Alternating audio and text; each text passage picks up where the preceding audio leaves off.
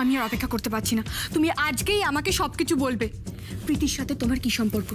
প্রীতির সাথে কিসের সম্পর্ক? তোমার কি সম্পর্ক? বলো আমায় বলো প্রীতির সাথে। করো না নীল।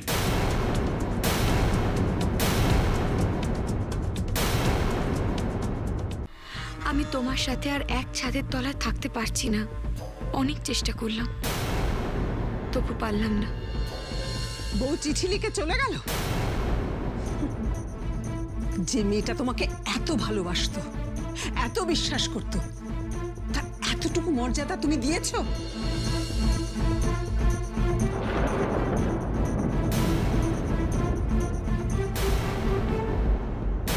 তাহলে আমি এই কালকে বলাগড় গিয়ে সব ব্যবস্থাগুলো করে ফেলি? বলাগড়? কেন? ওখানেই তো হবে পুজো। না না। না না পুজো পুজো এখানেই হবে। এখানে কোথায় হবে? আপনার বাড়ির ছাদে? ছাদের মাথায় পুজো করলে ছাতার মাথা ট্রেডিশনাল পুজো হবে। এটা কি? আপনার ফ্লাইটের টিকিট পঞ্চমীতে আপনি দিল্লি যাচ্ছেন। পুজোটা আমরা একসাথে দিল্লিতেই কাটাবো। নীল আমাদের গ্রামের বাড়িতে দুর্গা পুজোয় তোকে যেতেই হবে। না। এরকম করে বললে তো কিছুতেই রাজি হবে না। আমার মেয়ে তো। আচ্ছা নীল, আমাদের গ্রামের বাড়িতে দুর্গাপুজোয় কিন্তু তোকে যেতেই হবে। দেখ, আমি বুঝতে পারছি যে আমার আর তোর মধ্যে যে ভুল বোঝাবুঝি হয়ে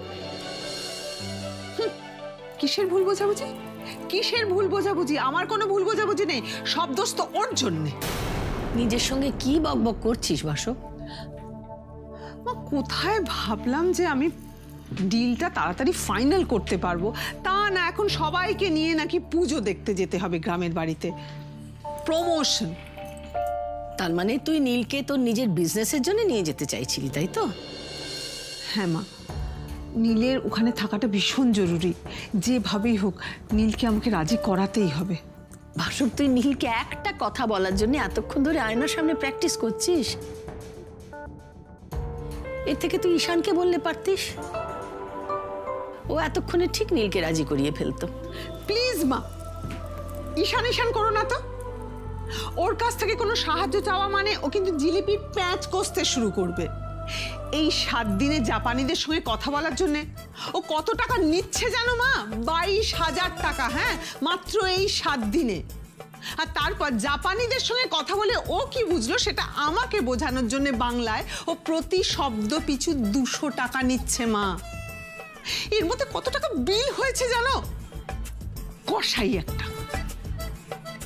কে কষাই নয় বাসব?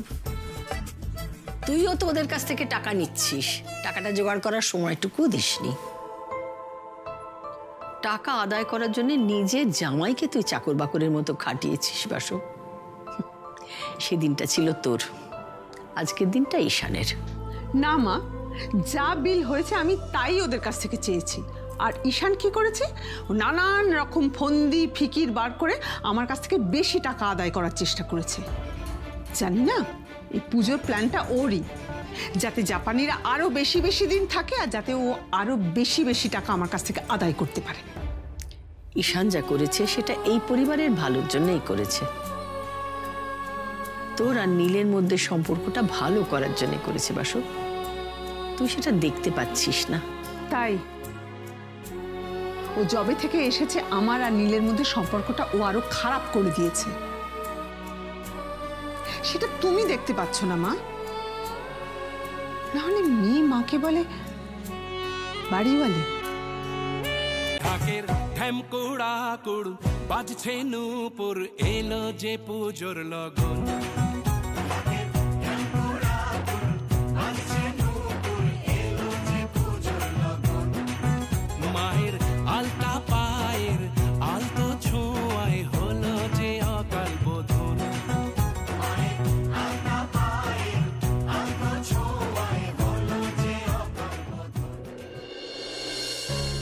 এই শোনো জাপানিদের সাথে যদি বিজনেস ডিলটা ফাইনাল হয়ে যায় না তাহলে তুমি বিবিকে বলে সন্ধ্যে ছটার পর আর অফিসে থাকবে না। বাহ এ তো ভালো কথা।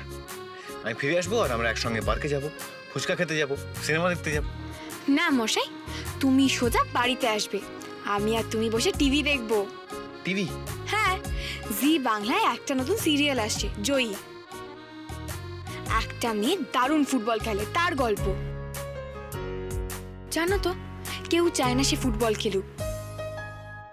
কিন্তু জয়ী সব বাধা পেরিয়ে নিজের স্বপ্নকে সত্যি করে দেখাবে। এমনই তার জেদ। ঠিক আমার মতো। না মশাই আমার মতো। যে রাধে সে ফুটবলও খেলে। আচ্ছা তাহলে আজকে গিয়ে রান্নাটা তুমি করো আর আমি গিয়ে একটু জয়ীর সঙ্গে ফুটবল খেলে আসব। তাই না?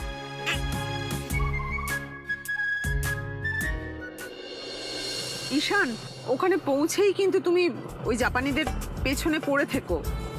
যত তাড়াতাড়ি এগ্রিমেন্টটা হয়ে যায় ততই ভালো। সেটা চেষ্টা করো প্লিজ এবারে থাম তো বাসব।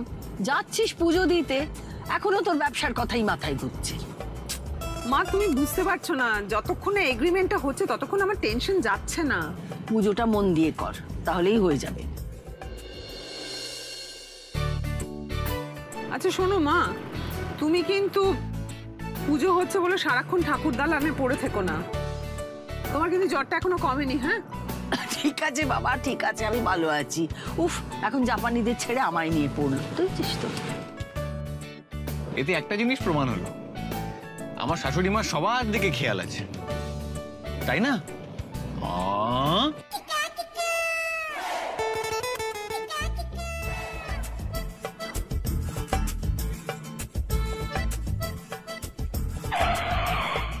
বন্ধুগণ, এবছর আমাদের চণ্ডীতলা সার্বজনীন দুর্গা উৎসব কমিটির রজত জয়ন্তী বর্ষ। এর জন্য থাকছে আপনাদের জন্য প্রত্যেকদিন বিভিন্ন ধরনের বিচিত্রা অনুষ্ঠান। ষষ্ঠীতে থাকছে কে জ্বালাবে বাতি? মেয়েদের মোমবাতি জ্বালানো প্রতিযোগিতা। সপ্তমীতে থাকবে কে হবে গীতা? মেয়েদের কুস্তি প্রতিযোগিতা।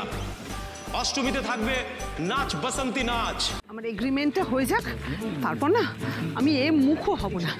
একদম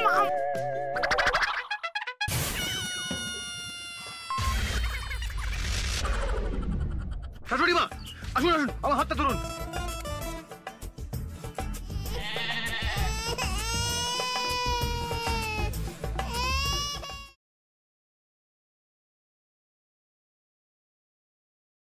অনেক কোথায় তুমি?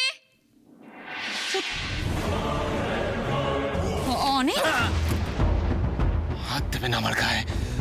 হাত দিলে কিন্তু খুব খারাপ হয়ে যাবে। খুব খারাপ। তুমি একদম আমার কাছে আসবে না।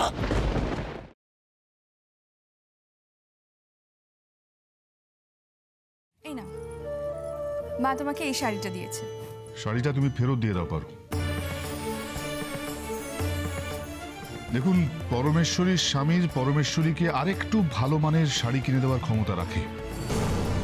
আমি মনে করি আমার যা স্ট্যান্ডার্ড, তার সঙ্গে মানানসই হয়, এমনই কাজও করবে, এমনই জামা কাপড়ও পরবে। কিছু মনে করবে না আঙ্কেল আমি আমি সরি কিন্তু এই শাড়িটাও নিতে পারবে না।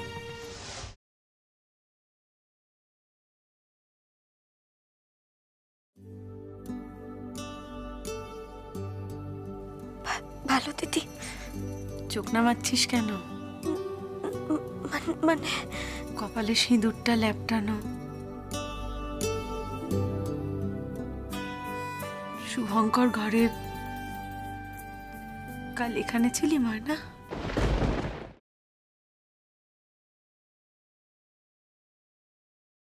বাবা পুজোর দিন সকালে শুধু একটুখানি একটুখানি কি? জোলাপ কে- মানে জোলাপ দিয়ে কি হবে? মা ভিতরে যাবেন আর আসবেন হ্যাঁ? আসবেন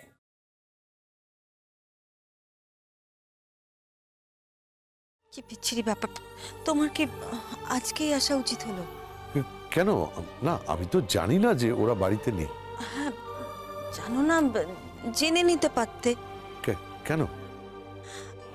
ও ওরা ভাবছে আমি বোধহয় তোমার সঙ্গে প্রেম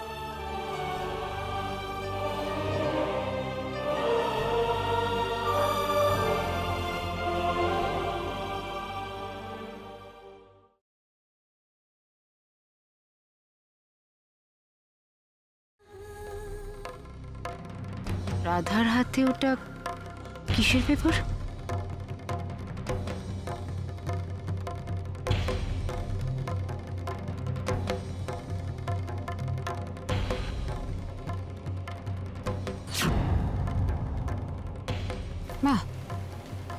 তার মানে কৃষকে ইমপ্রেস করার জন্য রাধা আজ স্টেজে উঠে ইংলিশে স্পিচ দেবে। রাধা স্টেজে উঠে ইংলিশে স্পিচ দেবে আর আমি সেটা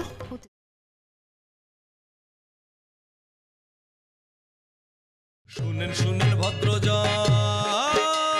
শুনেন শুনেন ভদ্রজন, শুনেন কবি গানের এই সভায় আইছেন যখন, কবি গানের এই সভায় আইছেন যখন। প্রশ্ন করি, বিচার করেন যতেক ভদ্রজনে, প্রশ্ন করি, বিচার করেন দুর্গা মাকে শিব একা পাঠাইছেন কেনে বলি? দুর্গা মাকে শিব